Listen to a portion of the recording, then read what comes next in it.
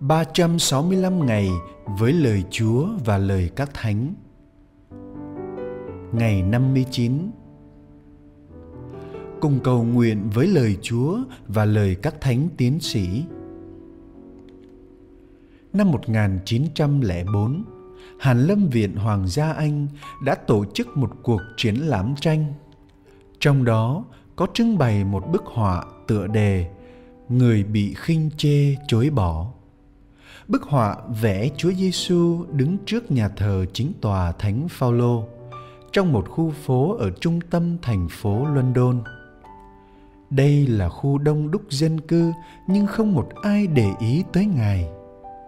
Một người đàn ông vừa đi vừa đọc báo, suýt đâm thẳng vào Chúa.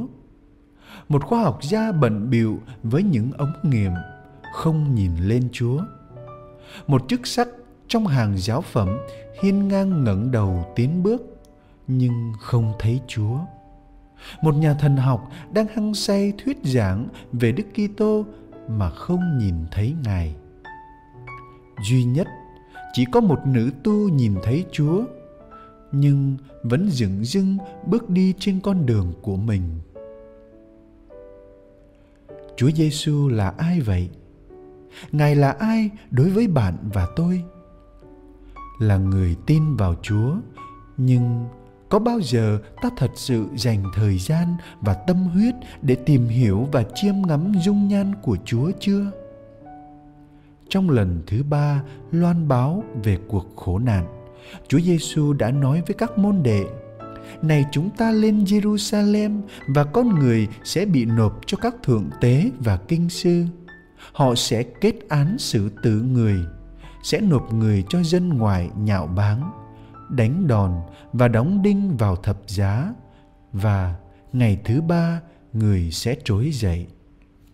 Matthew chương 20 câu 18 đến câu 19 Với lời loan báo của Chúa, các môn đệ ngày xưa nghe nhưng vẫn hiểu lơ mơ lắm. Vì ngày sau đó là chuyện bà mẹ của ông Gioan và Jacobe đến xin Chúa cho hai người con được ngồi hai ghế VIP ở bên Chúa. Còn bạn và tôi thì sao? Chúng ta có hiểu và chấp nhận Chúa Giêsu đấng là đường, là sự thật và là sự sống. Đi vào con đường thương khó hay không? Chúng ta có đồng ý con đường cứu rỗi của thiên chúa đi là xuyên suốt qua đau khổ và cái chết. Xuyên suốt qua tất cả những đoạn đường mà không ai trong chúng ta muốn đi, hay không?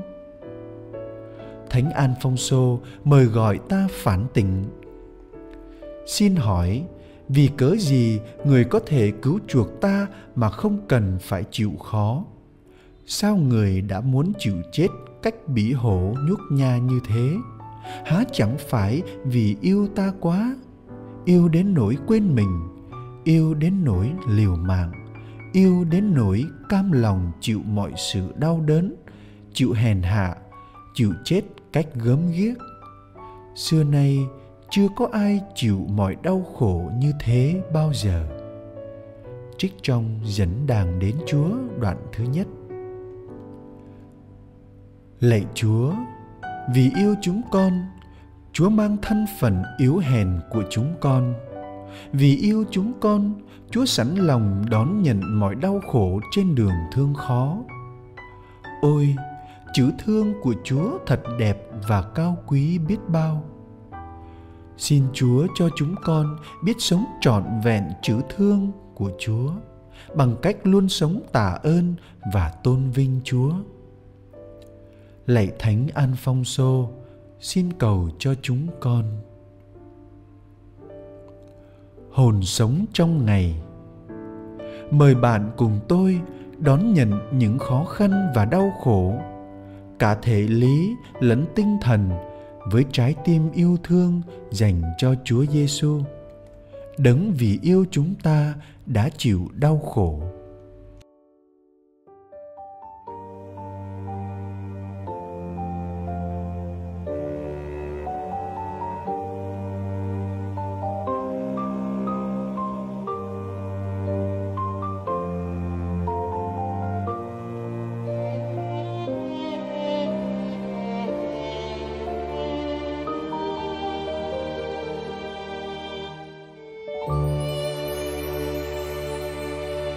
trần gian u mê bao đắm say.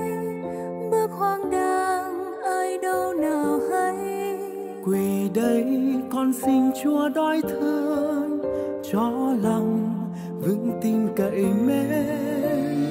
Ôi, mây đen giăng hái hùng, mùa vây tâm con trong bão bùng. Cầu mong thay chúa, ánh sáng tin yêu cho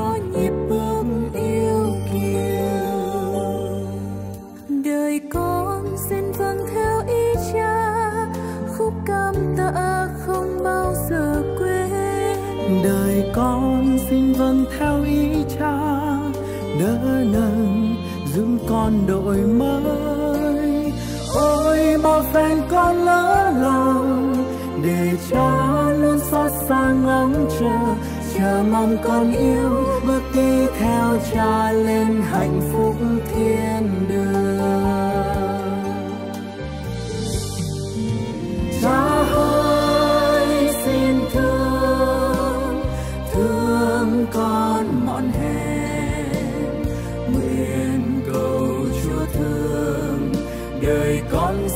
Vâng theo ý cha. Chúa đến bên con, trao ban tình yêu. Tình ngài nhân ái, vì đoàn con cái, con quyết xin vâng từ đây.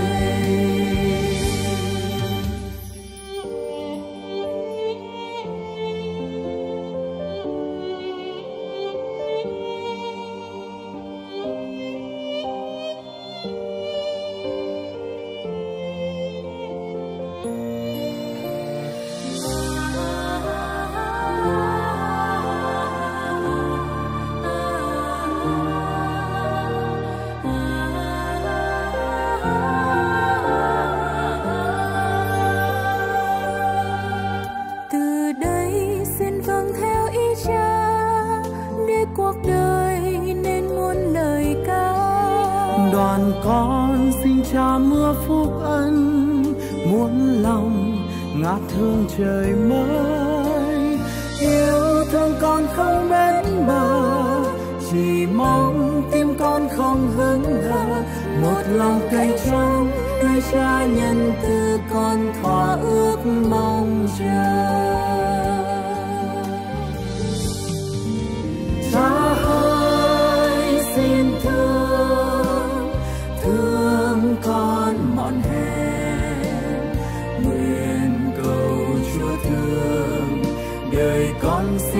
Làm vâng theo ý cha.